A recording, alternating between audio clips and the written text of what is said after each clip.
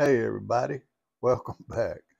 Today we got a special treat for pet lovers and fire lovers both.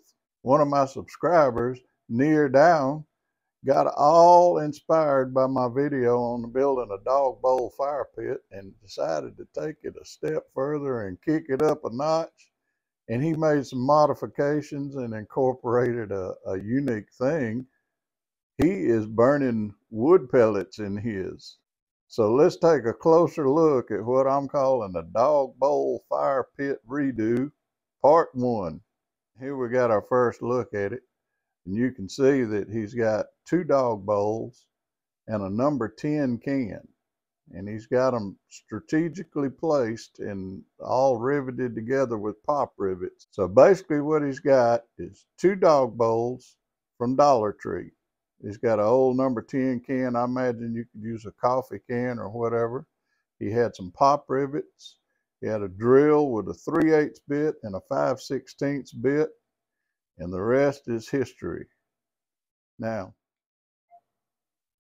so you can see that he's got 5 16 holes drilled around the perimeter of the upper bowl and the upper bowl bottom actually cut out. Then the bottom lower bowl, he has 5 16 holes that lead down into the number 10 can, and the number 10 can has 3 eighths inch holes drilled around it for airflow.